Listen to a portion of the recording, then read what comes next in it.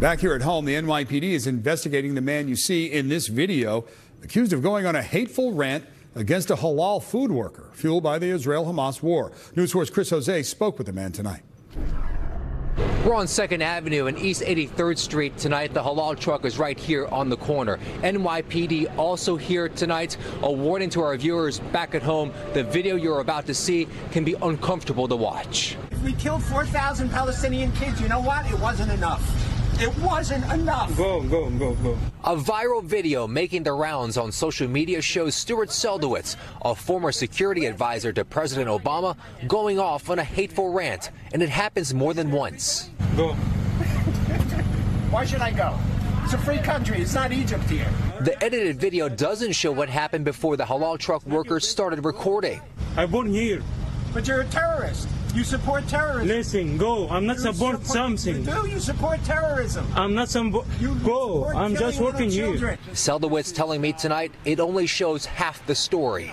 This whole thing started when I innocently asked him uh, if he was Egyptian. He said yes. Um, I said this must be a tough time to be an Egyptian in New York because of everything that. And he said, "Why is that?" And I said, "Well, because of all the stuff that's going on."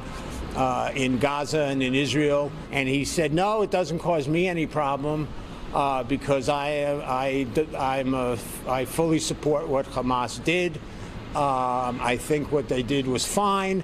It's not an issue for me, and it doesn't cause me any problem. I said, Does you mean you're okay with the raping of, of women, the, the killing of children, the taking of hostages, and the killing of 1,200 people uh, in, in Israel?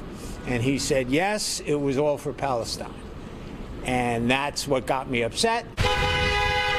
The worker who recorded Seldowitz off the clock tonight, but another employee says he first approached the truck on November 7th and has come back at least three other times. We just uh, we want to feel safe in this community. We don't want anybody bother us. We never bother anybody. NYPD investigating and now reviewing the videos. An officer speaking to workers about the incidents. Mayor Adams saying Islamophobia is hate, plain and simple. Attorney General Letitia James adding, this is disgusting, hateful, and New York won't tolerate it. raping, terrorists, uh, Islamophobic comments.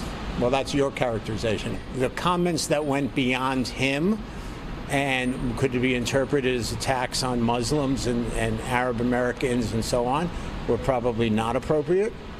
The comments that I made calling him out for his support of terrorism, uh, I think, I don't, those I think were appropriate. Most recently, Seldowitz was a foreign affairs chair for Gotham Government Relations, the group now cutting all ties with him. On the Upper East Side, Chris Jose, News 4 New York.